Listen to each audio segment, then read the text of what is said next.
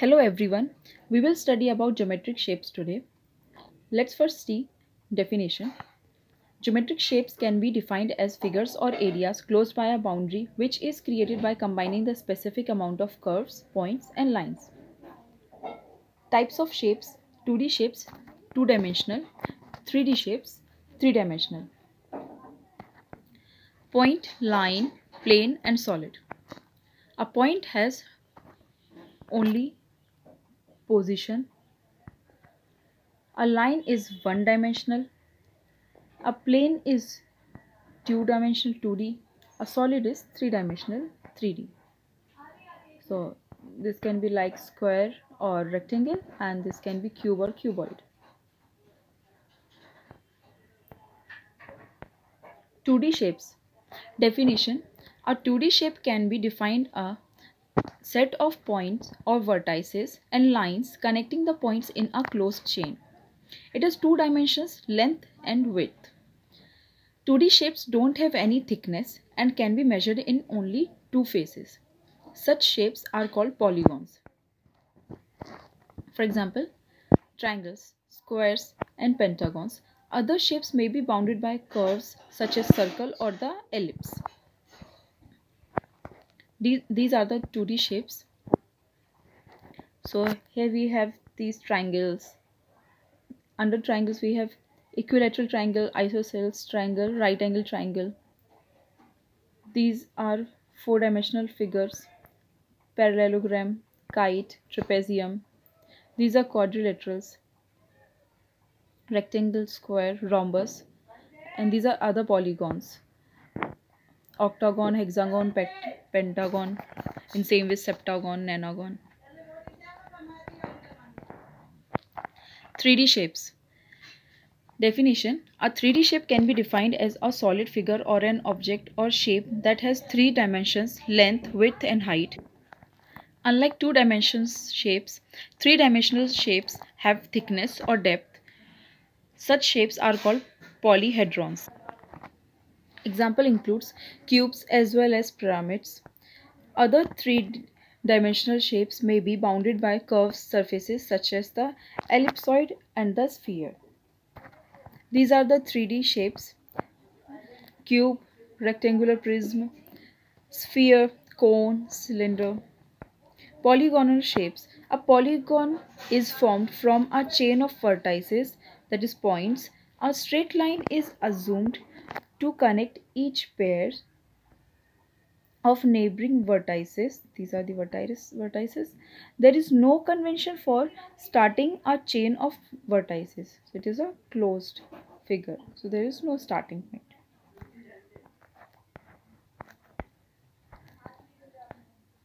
Polygonal shapes. We can now subject this list of vertices coordinates to a variety of arithmetic and mathematical operators as x is at 1 so this will at 1 and y is at 3 1 2 3 so this will be at 3 here y and x both are 1 1 here x is at 3 and y is at 1 here x is again at 3 but y is at 2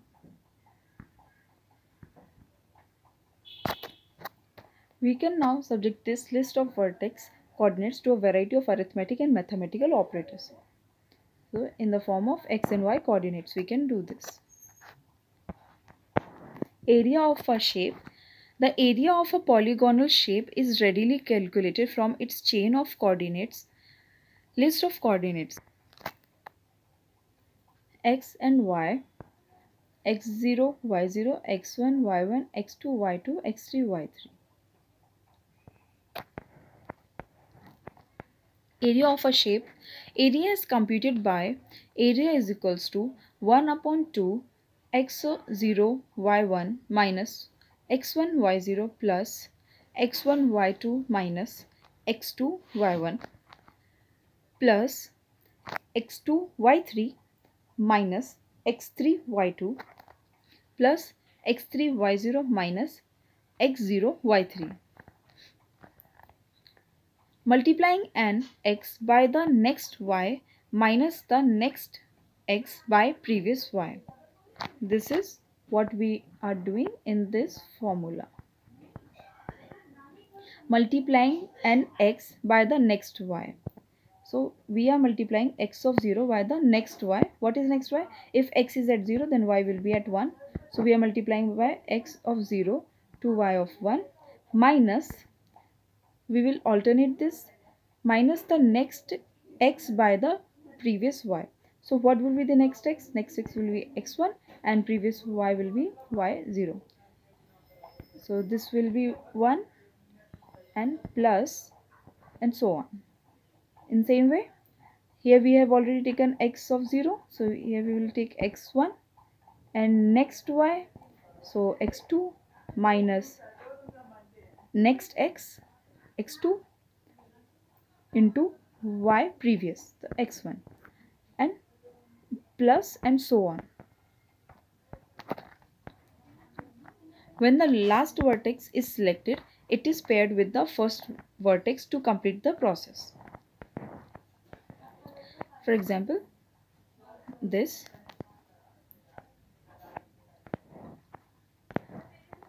here is our example the values of the example so we will put the values as x what is here x of 0 we have taken here as 1 into 1 so this is this is x of 0 and this is y of 1 and this is x of 1 this is x of 1 so this is 3 and so here we have the values. This is for x of 0 y of 0 x of 1 y of 1 up to x of 3 to y of 3 so we'll put these value in this formula and we can solve it accordingly. So what is our area? Our area is 3 units our example is a triangle and a polygon having their vertices and the points the line connecting them so here we have distance between two points when we know the horizontal and vertical distances between two points, we can calculate the straight line distance. The distance triangle x is equals to x2 minus x1 and triangle y is equals to y2 minus y1. To get this area, to get this area, what we are doing here, we are taking this as triangle x and here this as triangle y. Okay? And to find this what we need to do is we need to minus from this is the value of x2 and this is the value of x1 to get this much we need to minus from x2 to x1 then we can get this area. So we will get triangle x in same way for the y value. And to get this distance which distance this distance we are going to solve here the distance d between P1 and P2 is given by d is equals to x2 minus x1 whole square plus y2 minus y1 whole square. So d is equals to triangle x whole square plus triangle y whole square. Theorem of Pythagoras in 2D. The theorem of Pythagoras is used to calculate the distance between the two points.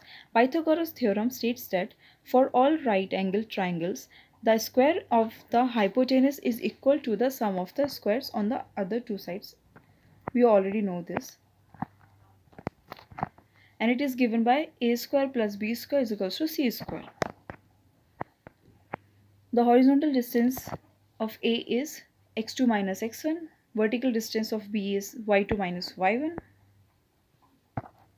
c square is equals to a square plus b square. Put in the calculations for the a and b.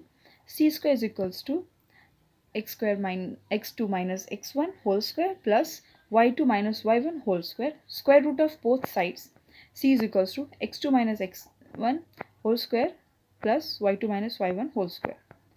Cartesian coordinates. When we move to 3D, there are two choices for positioning the third z-axis. Theorem of Pythagoras in 3D. The theorem of Pythagoras in 3D is a natural extension of the 2D rule. It even works in higher dimensions. Draw the triangle on the bottom of triangle ABC. Theorem of Pythagoras in 3D. Here we get distance d. Pythagoras tells us that d is equals to root of x square minus x square plus y square. Theorem of Pythagoras in 3D. We can use Pythagoras again. Two sides are d is equals to x square minus x square plus y square and this this can be solved accordingly in same way as the Pythagoras. This I don't need to uh, explain. By properties of 3D shapes. 3D shapes have faces edges and vertices. Faces. A face is a flat or curved surface on a 3D shape. For example a cube has six faces.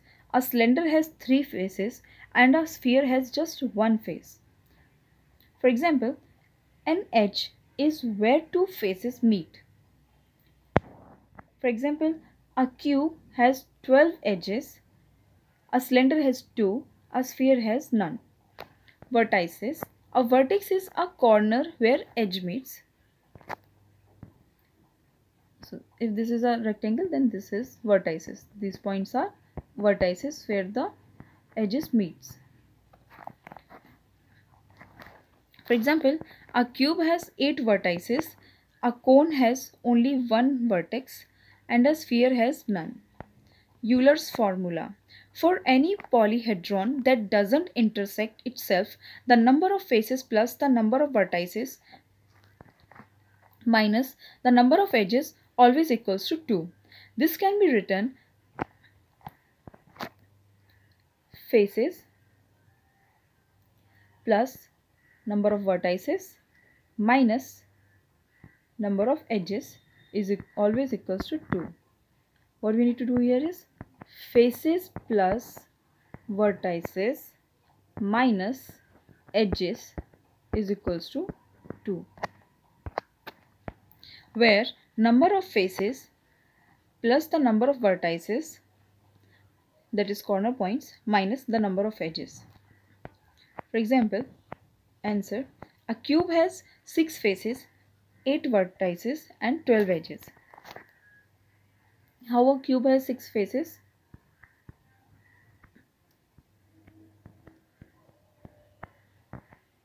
These are 3 faces and 3 faces are beyond this. So if I draw it like this so these I have got another three faces I hope you are understanding it. And to check whether it has eight vertices or not let's see. First second third fourth fifth sixth. This is seventh and this is eighth. Like one two three four 5 6 7 8 so it has 8 vertices. 1 2 3 4 5 6 so it has 6 faces. So 6 face plus 8 vertices minus the number of edges. It has 12 edges. How? Let me rub this. First edge first stage second third fourth. This is 2d now on converting it into 3d we get